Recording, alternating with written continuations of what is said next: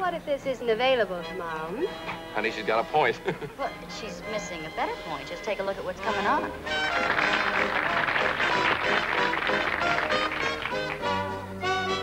this is bigger than both of us. More than gambling, more than me. That's what he loves. My lucky charm.